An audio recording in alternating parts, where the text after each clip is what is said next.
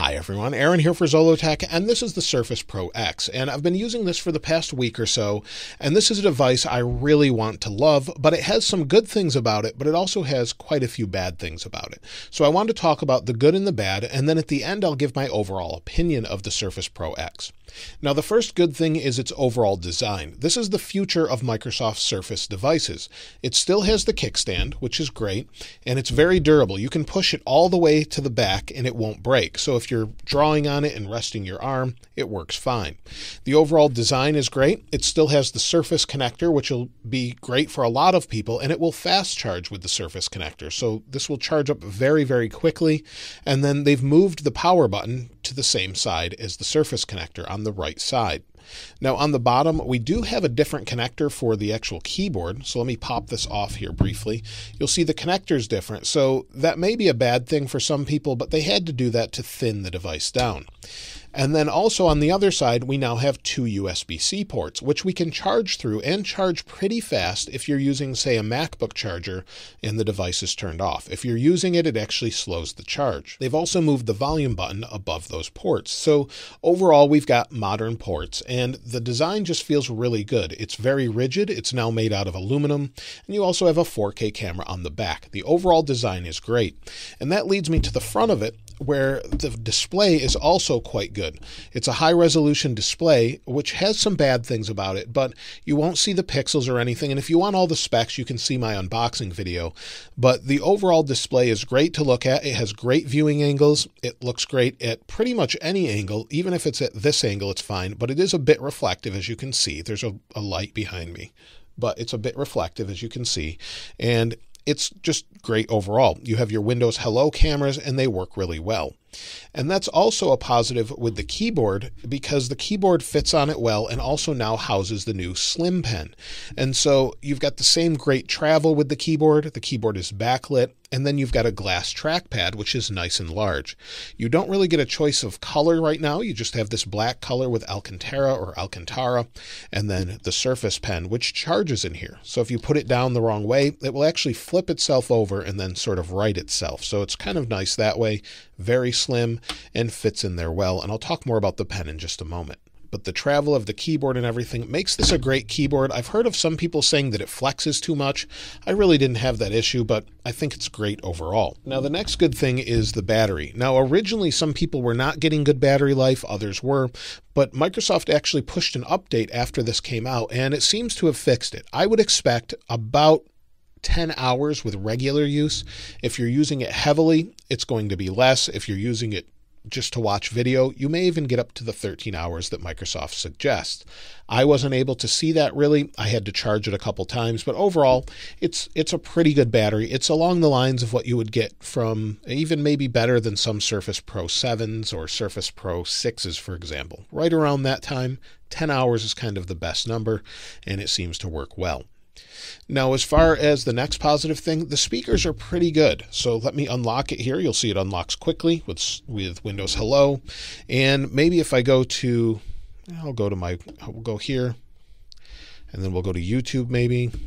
So this is my Surface Pro X unboxing. Let me make it full screen and then you can hear the actual speakers. Turn the brightness up a little bit and you'll hear the speakers. They're nice and loud. Latest Surface, the Surface Pro X. And this is the future of what Surface is supposed to be. And this only comes in one color. The speakers are nice and loud, but as they get to higher volumes, they do get a little bit tinny. They're not amazing, but they sound fine. If you compare them to, say, an iPad Pro, they're not on that level, but they're as good as any other Surface I've ever heard. Now, along with the display, the pen works great. So if I hit the button here, we'll pop open Notes or our whiteboard here. It takes a second to open.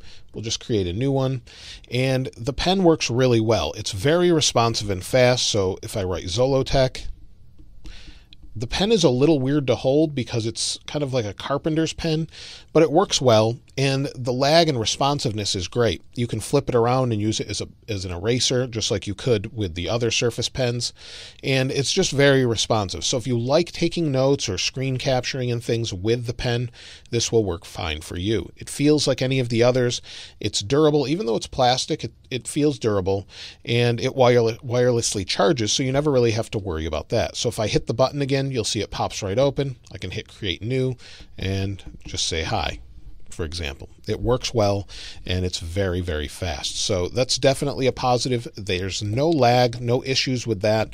And if you're into drawing and things, that will be great for you. Now, the, the next positive thing for me is that this supports LTE. No matter which configuration you get, you can use a SIM card with it.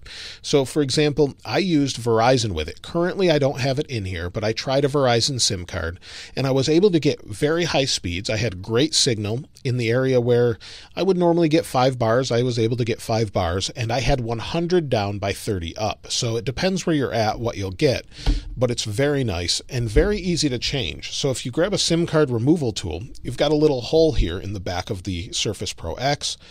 Pop in the SIM card removal tool. Try that again.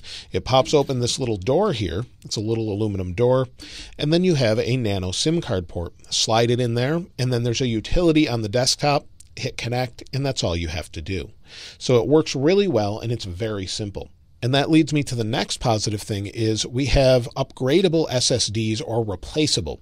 Now it's questionable whether or not you could upgrade this because you'd have to find this small size. So in theory, if you could find a 512 gigabyte one, you could upgrade it, but you'd have to find it. But it does make it more serviceable. So if your SSD fails, or maybe you had the 128 gigabyte model, you can bring it to Microsoft and they'll upgrade it for you for a fee.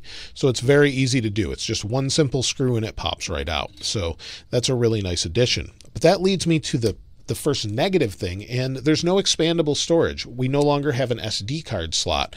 So, where we used to have it on this side, it's just not there. So, what you have here is all you get.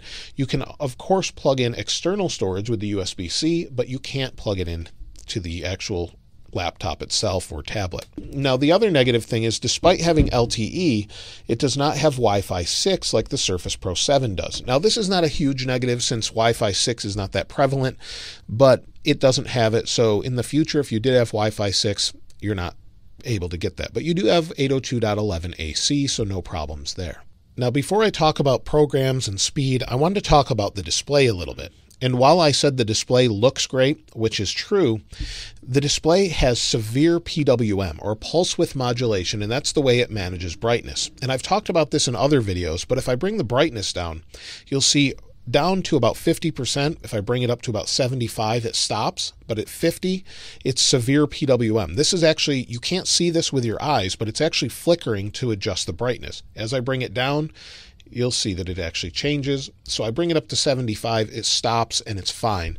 But if you can't use it above 75% and that bothers you, it's going to give you headaches if you're sensitive to that. About 1 in 10 people are sensitive to screen flicker or PWM, and this definitely has it. So just keep that in mind if you're looking at this. Now, this has Microsoft's SQ1 chip in it, and I normally would label this as a positive because it is a great idea with a great chip, and in general, it's pretty fast. But when you're using it as a full blown Windows laptop, I'm not so great uh, sure it's a great thing. So, for example, when I started using this before the update, they've said that you can use Chrome on it with no problem. And Chrome does load. Let me bring this down here a little bit. Chrome does load, and if we go to, say, Microsoft, you'll see it takes a second to load and it's fine. It scrolls fine and everything else. But I found that Chrome locked up an awful lot, and that was a bit of a pain for me.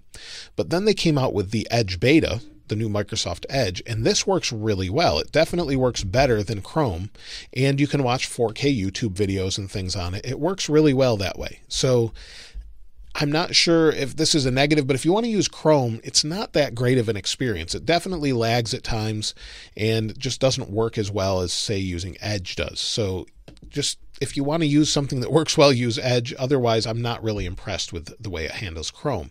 And with that SQ1 chipset, it's an ARM processor, so you can only run 32 bit apps. And this is kind of a negative because It has okay benchmarks. You'll see here's a benchmark I captured using what I could with Geekbench. It's 726 for single core, 2787 for multi core with Geekbench 5. I also was only really able to use Passmark and scored 1885.3. And that's really all I could run for benchmarks. But in real world use, trying different games and different programs, I tried things to, I tried some different real world programs that are for making 3D modeling and things. I couldn't run them because they're 64 bit. So a lot of the programs I tried, such as AutoCAD, some of them that are in the App Store will work fine. But if you have different applications that you want to run and do real work on, it's tough to run anything outside of Office. And even Office had a little bit of a problem when I tried it. So if I go into Excel, I had someone try this and tried to import a very large database. So they tried to import a database that had 800,000 lines in it. That wouldn't even load on this. So you definitely can't do that sort of work in Excel in here. It wouldn't even load. It took forever. Even though the file was local, it just wouldn't work. So that wouldn't work. However, it can run certain games that are 32 bit. I was able to run Call of Duty Modern Warfare 2. I was able to run Portal 2. So if I run Portal here, so you'll see it's actually loading Portal. It will work fine and it's running it emulated with a 32 bit app. So it is a full version of Windows, but you can only run 32 bit apps. But this is an awful expensive gaming machine if you're going to use it for this. But let's wait for it to load.